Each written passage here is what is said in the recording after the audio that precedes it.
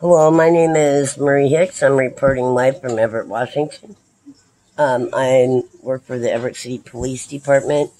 Um, I am going to let you be aware that to the public that we are having banks that are being robbed all around Everett, Seattle area, uh, on the western side of Washington.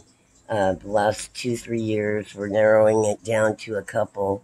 They only strike at Halloween in their costumes. Um, I'm going to go ahead and turn it over to the media to ask me questions about the robberies. Yes, um, the most that they've gotten away with is 365,000 and the lesser has been about 90,000 on an average. Um, we know it's a couple. We know that they put on costumes and they um, always leave cars at a car wash and get transferred to another car. And then the other car that they got, the last robbery we found at the airport.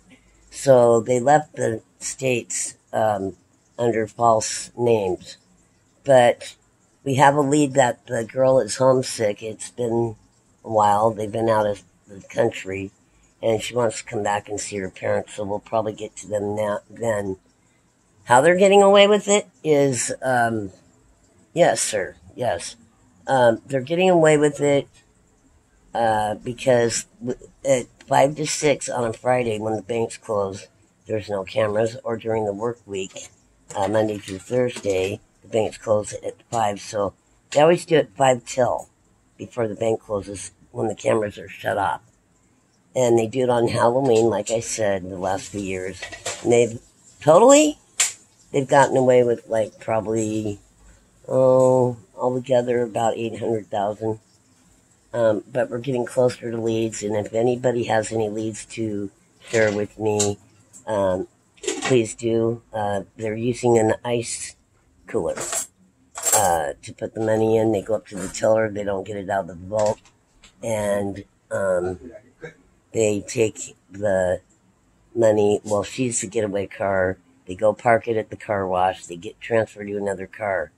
And that's all we know. But I think what they're doing is putting the money in an ice chest because that's what they carry a six pack ice chest. And they fill it up. Or 12 pack ice chest. Yes, sir. Correct me if I'm wrong.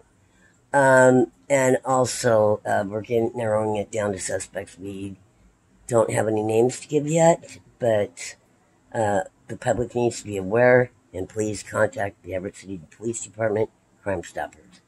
1 800 Everett City Police. Thank you. Have a great day.